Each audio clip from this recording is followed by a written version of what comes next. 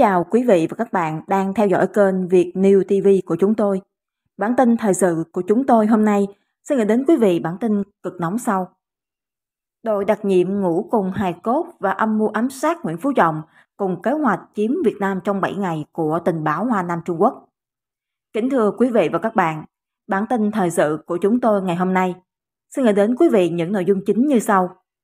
Âm mưu ám sát Nguyễn Phú Trọng của đội đặc công ngũ cùng hài cốt thuộc tình báo Hoa Nam của Trung Quốc. Kế hoạch đánh chiếm Việt Nam trong vòng 7 ngày của quân đội giải phóng nhân dân Trung Quốc. Và sau đây là những nội dung chi tiết. Kính thưa quý vị, sau khi chứng kiến cảnh Việt Nam và Mỹ thân mật nhau và có những hợp tác về mọi lĩnh vực với hàng chục tập đoàn và số vốn đầu tư đổ vào Việt Nam, cũng như có các mật ước ngầm nhằm đối phó với Trung Quốc. Tập Cận Bình và giới lãnh đạo Cộng sản Trung Quốc đã bật đèn xanh cho tình báo Hoa Nam hạ bề Nguyễn Phú Trọng, nhân vật từng được coi như là một tay chân bộ hạ trung thành của Thiên Triều Đại Hán. Theo kế hoạch khoảng 31 đặc công ngũ cùng hài cốt Trung Quốc cố gắng đột nhập nơi ở chính thức của Nguyễn Phú Trọng để ám sát. Nỗ lực này đã thất bại và 29 trong 31 lính đặc công tình báo Hoa Nam thiệt mạng. Người sống sót duy nhất bị bắt là Lâm Bình Chi. Theo các thông tin tình báo chúng tôi có được, 31 thành viên ưu tú được lựa chọn cẩn thận từ đơn vị 124, biệt danh ngũ cùng hài cốt của tình báo Hoa Nam. Họ được luyện tập trong 2 năm và dành 15 ngày để diễn tập với bản sao có quy mô y như bản gốc nơi ở Nguyễn Phú Trọng tại trụ sở Ban chấp hành Trung ương Đảng. Họ thậm chí còn mặc đồng phục quân đội Việt Nam để cải trang và nói được cả giọng Bắc. Đó là yếu tố căn bản của một sát thủ. Đặc công Lâm Bình Chi khai với cơ quan điều tra của an ninh Việt Nam. Anh ta nói thêm, chúng tôi rất tự tin. Chúng tôi biết tất cả về hàng phòng thủ của trụ sở Ban chấp hành Trung ương Đảng.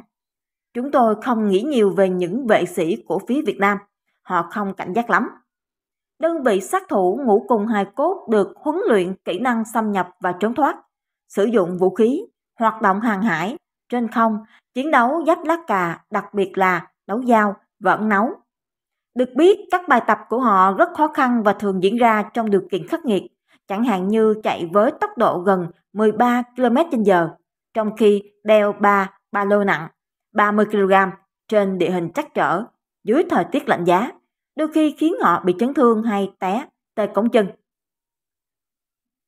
Họ còn bị bỏ đói và buộc phải ăn rắn và ếch trong các khu rừng của tỉnh Quảng Tây Trung Quốc. Một trong những thử thách khó khăn nhất là đào mộ để ẩn nấp bên trong. Chúng tôi nằm ngủ cùng với những bộ hài cốt. Lâm Bình Chi nói, việc đó giúp chúng tôi trở nên can đảm. Chẳng ai nghĩ đến việc tìm kiếm người trong một ngôi mộ.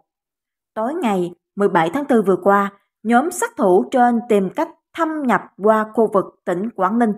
Ngày hôm sau khi họ đến núi Tiên Yên, bốn người dân địa phương đúng củi phát hiện ra họ. Đội sát thủ đã tranh luận gay gắt xem có nên giết những người này hay không. Nhưng về sau họ quyết định giáo huấn tư tưởng rồi thả họ, kèm với cảnh báo nghiêm khắc rằng họ không được báo công an. Tuy nhiên có hai ngày, ngay lập tức, hai người này đã báo cho chính quyền Lực lượng quân đội và công an được huy động, đề cao cảnh giác, họ triển khai để truy lùng những kẻ xâm nhập. Họ chặn đường nhưng không thể ngăn chặn chúng tôi, Lâm Bình Chi khai. Họ nghĩ chúng tôi di chuyển với tốc độ khoảng 8 km/h, nhưng thực tế chúng tôi đi với tốc độ 12 km/h. Họ chặn đường, nhưng lúc đó chúng tôi đã đi qua rồi. Tối ngày 19 tháng 4, nhóm trên tiếp cận trạm kiểm soát cách trụ sở Ban chấp hành Trung ương chưa đến 100 mét thì bị một công an tiếp cận và tra hỏi.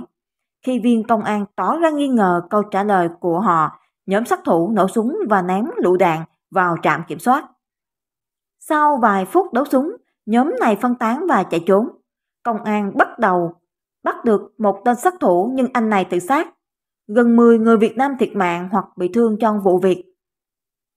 29 tên đặc công sát thủ bị săn đuổi và tiêu diệt trong 28 giờ. Một tên trốn thoát được trở về Trung Quốc, chỉ có Lâm Bình Chi đầu hàng. Tôi hạ vũ khí xuống, Lâm Bình Chi nói, Tôi có khát khao được sống, đó là bản năng của con người. Sự việc đang được đang được phía an ninh Việt Nam tiến hành điều tra. Trong một diễn biến khác, Trung Quốc lên kế hoạch đánh chiếm Việt Nam trong vòng 7 ngày. Tờ Thời báo Hoàn Cầu, cơ quan ngôn luận của Đảng Cộng sản Trung Quốc cho biết, kế hoạch chiến tranh mới của Trung Quốc nhắm vào Việt Nam được đặt mật danh là cuộc chiến tranh 7 ngày. Theo lời một sĩ quan quân đội Trung Quốc, kế hoạch chiến tranh được vạch ra sau khi Trung Quốc đang đánh hơi được giới lãnh đạo Hà Nội đang muốn thoát Trung ngã về Mỹ và phương Tây. Được biết, Tập Cận Bình đã chủ trì một cuộc họp quân sự cấp cao tại Bắc Kinh vào ngày 10 tháng 4 vừa qua và đã thông qua kế hoạch chiến tranh mới. Cũng theo lời quan chức trên, cuộc họp có sự tham gia của tất cả các thành viên của quân ủy trung ương và các quan chức quân sự cấp cao, các sĩ quan chỉ huy những đơn vị lớn của Trung Quốc. Tại cuộc họp, một khung kế hoạch hành động lớn hơn đề xuất bởi Bộ Tổng Tham mưu Quân đội Giải phóng Nhân dân Trung Quốc đã được xác định. Tập Cận Bình đã ra lệnh mỗi chỉ huy của một quân đoàn lên kế hoạch hành động chi tiết cho các đơn vị của mình dựa trên kế hoạch chiến tranh và tiến hành luyện tập. Cơ quan tình báo quân đội Việt Nam đã xác nhận việc lên kế hoạch chiến tranh mới này là từ phía Trung Quốc. Ngay sau cuộc họp, Tập Cận Bình đã tổ chức thêm 3 cuộc họp tương tự để kiểm tra tiến độ và thường xuyên tới thăm các đơn vị chỉ huy quân sự để khảo sát địa điểm. Các nguồn từ cơ quan tình báo cho biết. Được biết, Trung Quốc cũng lập một kế hoạch chiến tranh 15 ngày nếu như chưa thể kết thúc cuộc chiến dạy cho Việt Nam bài học lần hai của mình trong một tuần trước, sự phản kháng của Việt Nam và sự giúp đỡ của Hoa Kỳ nếu có. Theo như kế hoạch mới này, Trung Quốc dự tính sẽ sử dụng ưu thế vượt trội so với Việt Nam về vũ khí hạt nhân và tên lửa nhằm đánh đòn phủ đầu ở giai đoạn tiền chiến. Tiếp đến, các lực lượng đặc nhiệm đã được tăng từ 80.000 lên 200.000 trong mấy năm qua sẽ được huy động và các vũ khí thông thường như xe tăng, pháo binh, máy bay chiến đấu và lục quân sẽ được sử dụng sau đó để tiến hành cuộc chiến. Các nguồn tin cũng cho biết Trung Quốc ra lệnh quân đội hoàn thành chuẩn bị cho cuộc chiến trong năm 2024. Một cuộc diễn tập trên không cũng đã được triển khai với 12.000 quân đặc biệt và một máy bay nhảy dù tầm thấp AN-2. Phía Trung Quốc còn kết luận rằng nước này không thể giành chiến thắng nếu kéo dài chiến tranh. Để dạy cho Việt Nam một bài học đạt được thành công, Trung Quốc phải quyết định rằng chiến tranh hạt nhân chấp nhoáng là giải pháp tối ưu bất chấp sức ép và chỉ trích từ cộng đồng quốc tế. Trong một diễn biến liên quan, ông Nguyễn Quang Tuấn mong tòa cho tôi cơ hội đóng góp trong khám chữa bệnh. Cựu giám đốc Bệnh viện Tim Hà Nội mong tòa cho cơ hội sớm trở về, tiếp tục đóng góp trong khám chữa bệnh, đặc biệt đào tạo nhiều bác sĩ tim mạch trong tương lai. Chiều ngày 18 tháng 4, ông Nguyễn Quang Tuấn, cựu giám đốc Bệnh viện Tim Hà Nội và các bị cáo được nói là sau cùng trước khi tòa nghị án là người đầu tiên được đứng lên nói lời sau cùng. Cựu giám đốc Bệnh viện Tim Hà Nội gửi lời xin lỗi tới cán bộ, nhân viên y tế Bệnh viện Tim Hà Nội và Bệnh viện Bạch Mai. Hành vi của bị cáo làm tổn thương đến cán bộ, hình ảnh uy tín của hai bệnh viện. Bị cáo coi đây là bài học đau xót, ông Tuấn nói. Ông Tuấn trình bày, khi ông về làm giám đốc Bệnh viện Tim Hà Nội năm 2012, lúc đó là bệnh viện nhỏ thuộc Sở Y tế chủ yếu liên quan đến phẫu thuật tim. Bị cáo và các đồng nghiệp hết sức tâm huyết phát triển bệnh viện chuyên về mổ tim, có thể nói là hoàn chỉnh nhất Việt Nam. Bị cáo cho biết, khi làm giám đốc bệnh viện đã cùng các đồng nghiệp làm công tác từ thiện, khám sàng lọc, phát hiện sớm, điều trị cho hàng trăm nghìn trẻ em ở vùng sâu, vùng xa vân vân. Mỗi năm chúng tôi mổ miễn phí trung bình được khoảng 400 trường hợp trẻ em bị tim bẩm sinh có hoàn cảnh khó khăn trong gần 8 năm, tôi làm giám đốc Bệnh viện Tim Hà Nội. Hơn 3.000 cháu được trở về gia đình. Cuộc sống với trái tim mạnh khỏe, ông Tuấn giải bày. Trong vụ án này, tôi nhận thức sâu sắc được vai trò của mình. Tôi không có biện hộ nào cho hành vi của mình. Mong tòa có đánh giá nhân văn hơn nữa cho tôi cơ hội sớm trở về với gia đình, xã hội, tiếp tục đóng góp trong khám chữa bệnh, nghiên cứu khoa học đặc biệt đào tạo nhiều bác sĩ tim mạch trong tương lai, ông Tuấn nói trước tòa. Thừa nhận những sai phạm của bản thân trong vụ án, ông Tuấn mong các cán bộ, nhân viên y tế của hai bệnh viện mà ông từng làm giám đốc lấy đó làm bài học đau buồn để họ tránh vấp phải lỗi lầm tương tự. Bị cáo cũng mong họ vượt qua khó khăn để chăm sóc tốt hơn nữa cho các bệnh nhân. Ông Tuấn mong muốn hội đồng xét xử xem xét giảm nhẹ nhiều hơn nữa cho các bị cáo trong vụ án, đặc biệt là bốn cựu cán bộ của bệnh viện tim.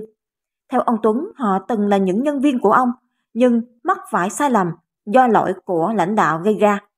Họ đã thành khẩn và khắc phục hậu quả tối đa trong khả năng của mình. Theo bản luận tội, trong các năm 2016 đến năm 2017, Bệnh viện Tim Hà Nội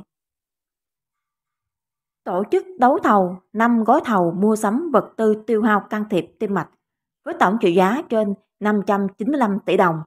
Trong đó, 4 gói thầu năm 2017 được áp dụng theo hình thức chỉ định thầu rút gọn, trị giá gần 348 tỷ đồng.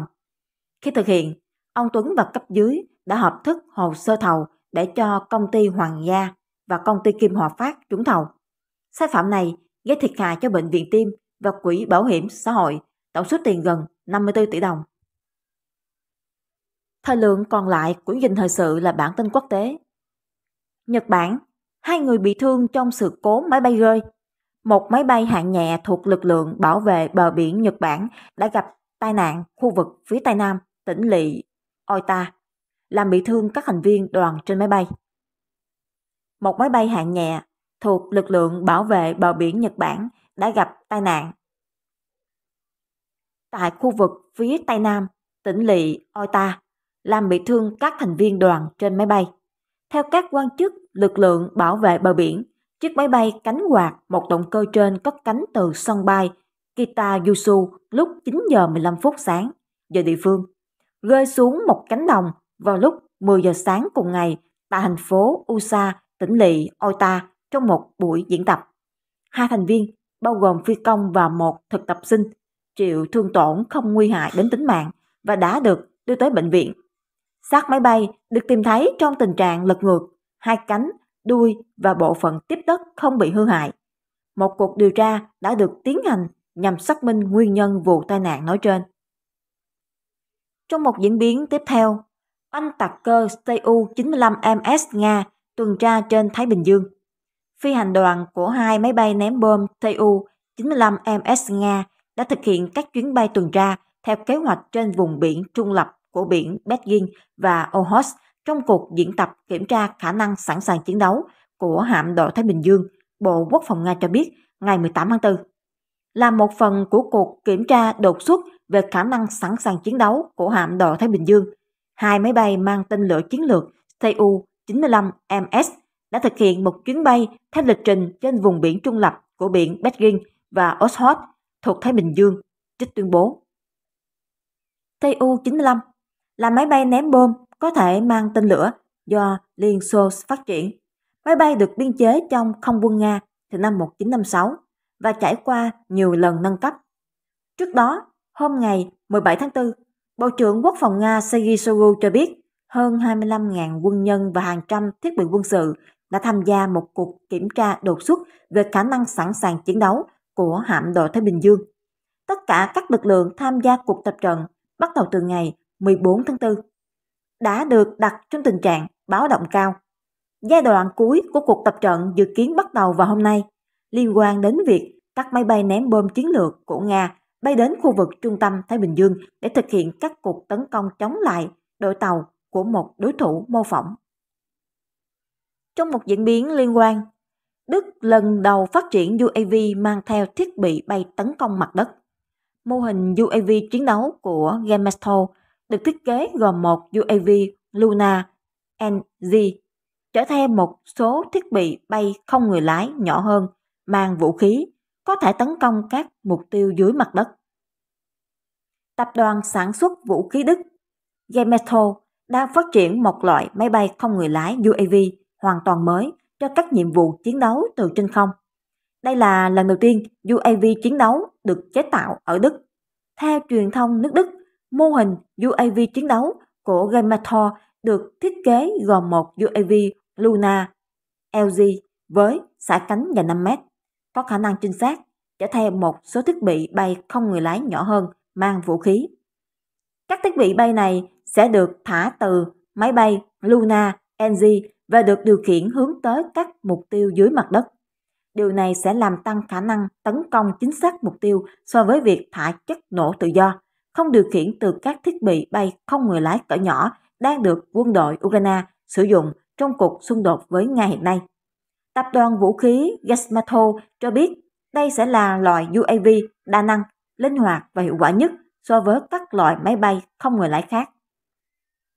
Nó có thể mang theo 8 thiết bị bay trang bị vũ khí và kết hợp hiệu quả các lợi thế của cả hai hệ thống bay. Trong một diễn biến tiếp theo, ông Putin bất ngờ đến Kherson thăm sở chỉ huy nhóm quân Dime. Tổng thống Nga Vladimir Putin đến thăm sở chỉ huy của nhóm quân Donetsk ở hướng mặt trận Kherson. Cơ quan báo chí của người đứng đầu nhà nước thông báo tin này. Tổng thống Nga Putin đến Kherson bằng trực thăng. Tổng thống Vladimir Putin tại sở chỉ huy nhóm quân Donetsk ở tỉnh Kherson đã nghe báo cáo của Thượng tướng Mikhail Teplinsky, tư lệnh lực lượng dù, Thượng tướng Oles Makagevich, tư lệnh nhóm quân Donetsk và các nhà chỉ huy quân sự khác, bản tin cho biết. Tại cuộc họp ở sở chỉ huy nhóm quân Donetsk, Tổng thống Putin đã yêu cầu các tướng lĩnh trình bày ý kiến của họ về tình hình ở hướng mặt trận Kherson và Zaporozhye và trao đổi thông tin. Tôi không muốn làm các đồng chí phân tâm khỏi chức trách trực tiếp liên quan đến việc quản lý điều hành. Vì vậy chúng ta làm việc ở đây trên tinh thần trao đổi công việc ngắn gọn nhưng cụ thể. Ông Putin lưu ý. Điều quan trọng đối với tôi là nghe ý kiến của các đồng chí về diễn biến tình hình phát triển ra sao, lắng nghe các đồng chí, trao đổi thông tin, Tổng thống Putin nói. Tôi đề nghị các đồng chí bắt đầu báo cáo về tình hình ở hướng Kherson, rồi đến tình hình ở hướng Zaporozhye. Sau đó tôi đề nghị tư lệnh lực lượng dù, chú thích biên tập, đồng chí Mikhail Yuzhevich Teplinsky cho biết ý kiến của mình, Tổng thống nói với những người dự họp. Tổng thống Nga Vladimir Putin đến thăm sở chỉ huy của nhóm quân Dinep. Tôi biết, theo sự ủy nhiệm của Tổng tham mưu trưởng và Bộ trưởng Quốc phòng đồng chí ấy đã ở tiền tuyến trong một thời gian khá dài và đã có báo cáo rất đầy đủ. Bộ Quốc phòng và Bộ Tổng tham mưu có sự đánh giá rất cao đối với đồng chí ấy, người đứng đầu nhà nước nhận xét. Tổng thống Putin cũng đã đến thăm trụ sở của lực lượng vệ binh quốc gia Vostok tại Cộng hòa Nhân dân Lugan. Tại đây, ông đã nghe báo cáo của Thượng tướng Alexander Lapin và các sĩ quan cấp cao khác về tình hình ở hướng mặt trận này. Truyền thông Nga đã phát hành một video được cho là xác nhận chuyến thăm của ông Putin tới Kherson.